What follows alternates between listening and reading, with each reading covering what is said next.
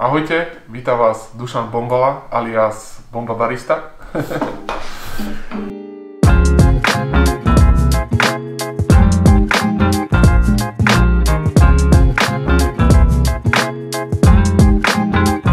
Ideme si pripravovať e, základnú alternatív, a základný alternatívny spôsob e, prípravy kávy, a to je V60.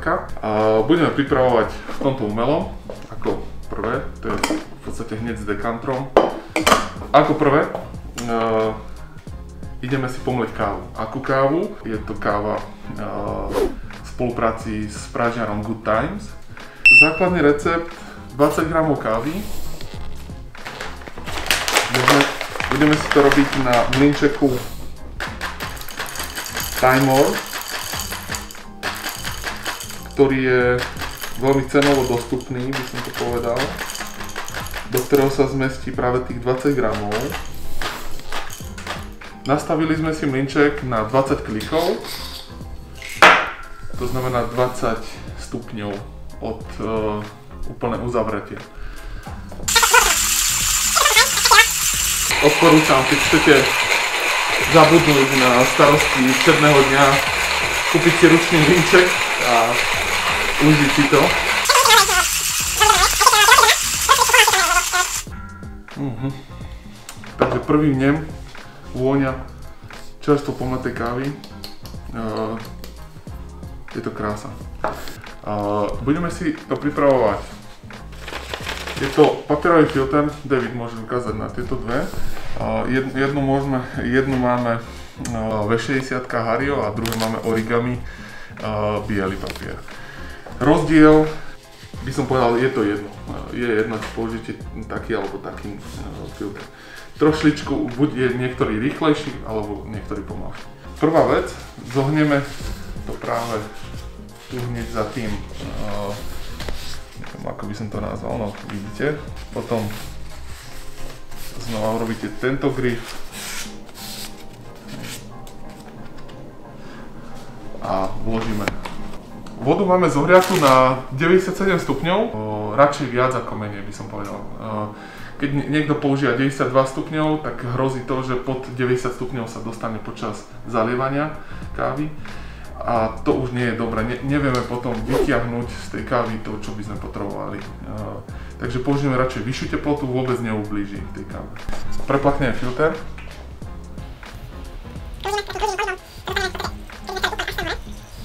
Tej vody nemusíme veľa použiť.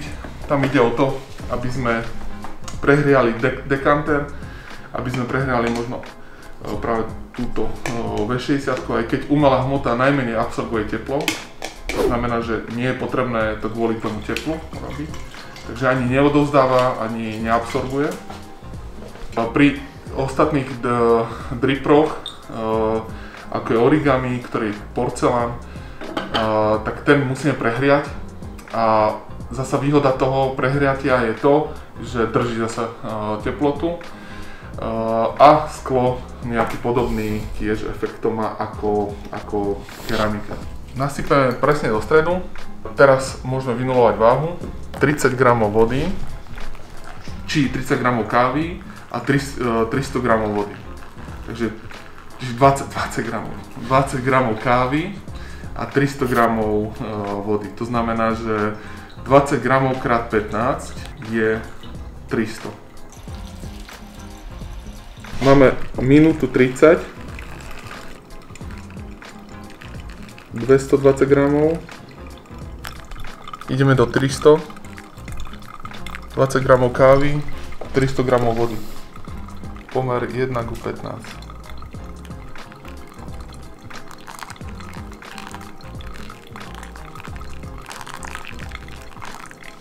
Takže som trošku zatočil a môžem jemne obúchať. Káva sa usadne a pekne vodami pretečie. Máme čas 2 minúty 20, teraz sledujeme, chceme dosiahnuť čas minimálne 2 minúty 30 a maximálne 3.30, keby bolo možné. Teraz máme čas 2 minúty 50 a keď sa pozriete dovnútra, tak voda je takmer pretečená. Posledné kvapky vidíme a bude to nejakých 3 minúty 15 aj s poslednými kvapkami. Takže je to krása. Už aj cez ruško musím povedať, že cítiť e, krásnu vôňu kávy, ale skôr takej ovocnosti. E, chuťový profil tejto kávy je, je veľmi ovocný a to je zelené jablko, pomaranč, lučné kvety.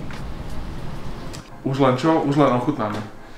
Zoberieme svoj obľúbený pohárik, napríklad Huboramik je môj obľúbený necháme trochu vychladnúť, lebo tie chute, tie chute sa úplne inak e, otvoria, keď to vychladne, takže kľudne môžeme ochutnať aj horúce, ja mám rád aj horúce.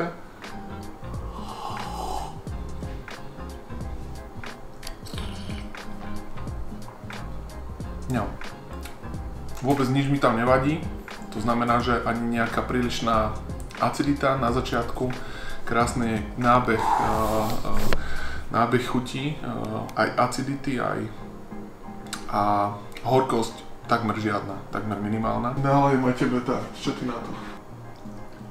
Naj. Takže na zdravie a nech vám chutí takáto káva. Môžete si vychutnávať každý deň. Je to krása.